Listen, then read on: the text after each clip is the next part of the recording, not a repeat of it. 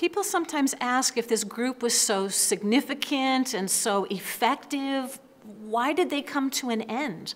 They had a really good run. They continued on for about 17 years. Uh, they were very successful, and even after the active period of the group, members of the group continued to meet from time to time. But something happened toward the end of their time together that really changed the nature of the group. And that's that one of the members of the Inklings, a guy named Hugo Dyson, didn't like The Lord of the Rings.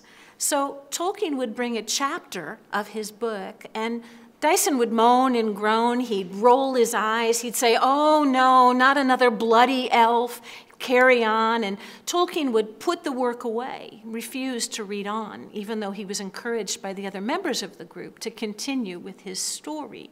What Dyson was doing was really shutting down or ending the conversation. The Inklings could take any number of criticisms, even the sharpest criticisms, because to criticize well is to stay engaged in the process. But what Dyson did was dismiss it. I don't want to hear it. And that shut down that open exchange, that sense of safety and, and freedom within the group.